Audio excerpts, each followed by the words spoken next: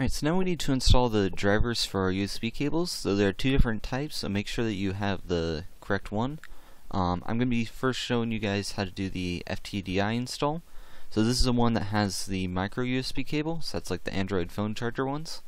Um, so we're going to start with that one. So go to that install stuff. So the first step is we need to connect up the board.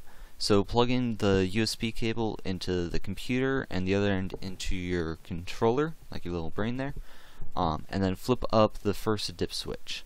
Um, once you do that, press this reset button down here to get it into download mode, and you should see this right LED over here blinking, and none of the others doing anything. If it's not doing that, make sure that the dip switch is indeed up, and the other two are down, and that you press the reset button. Uh, once it's like that, we can go ahead and continue on with the process. So we first need to download the driver, so pick your version. I'm going to do the Windows install, so to go through, start downloading.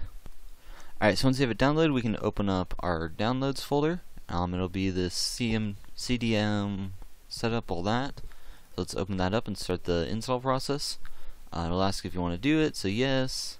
Uh, yep, want to extract. It'll go through its process. Next. Uh, you can read through the agreement and accept it. Next.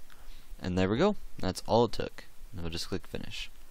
Um, if you wish to double check to make sure that's installed, you can go through. Um, instructions for the Mac, so you can go through to um, Apple, then click on About This Mac, System Report, Hardware, USB, and you should see like something USB UART, so that way you know it's connected.